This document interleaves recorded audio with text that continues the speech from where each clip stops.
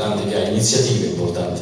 Ma io credo che sia anche doveroso, no? al termine di un ciclo come quello che ci ha portato a raggiungere questa medaglia di bronzo, eh, passato attraverso una medaglia importantissima, decisiva per questa, che è stato l'argento all'Europeo a Vienna nel 2011. Eh, è importante subito immaginare quello che sarà il futuro, il futuro in prospettiva olimpica, eh, indipendentemente dalla lunghezza dei contratti, credo che il, il respiro debba essere quadriennale no? nelle, nelle cose che si progettano. Quindi ne ho parlato tanto con i vertici federali che, che della Lega, ho trovato grande entusiasmo, io vorrei da quest'inverno lanciare un progetto che riguarda dei ragazzi che saranno dire, in età congruente a Rio de Janeiro, quindi dei ragazzi che oggi hanno fra i 20, 22 e 23 anni, che giocano nei nostri campionati di Serie 2 e di Serie 1, eh, proponendo loro e ai club, eh, e ai loro club eh, quattro stage che si svolgeranno naturalmente con grande rispetto degli impegni, questo è fondamentale per poter lavorare bene tutti, però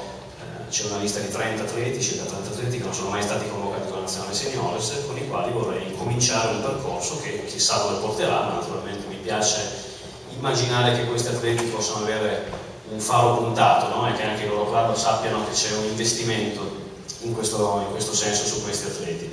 Eh, ringrazio anche la preparazione olimpica perché probabilmente parte di questi stati si svolgeranno proprio qui Cetosa, a Foggia, dove, dove, ci sono i centri di preparazione Possiamo andare a rianimare qualche dirigente. Stefano Recene è collassato, no? No, sarà, ripeto, sarà, ci sarà grande rispetto come c'è sempre stato, reciprocamente, sia nei confronti dei club che della nazionale. E la seconda cosa mi piacerebbe, questo forse sarà un po' più complicato per il calendario, ma mi piacerebbe ritornare a proporre un momento di confronto con tutti i tecnici, i miei colleghi di, di Serie 1 e di Serie 2. Eh, proporrò una data, dicembre. Ho fatto pace con tutti intanto. Io non ho mai litigato con nessuno.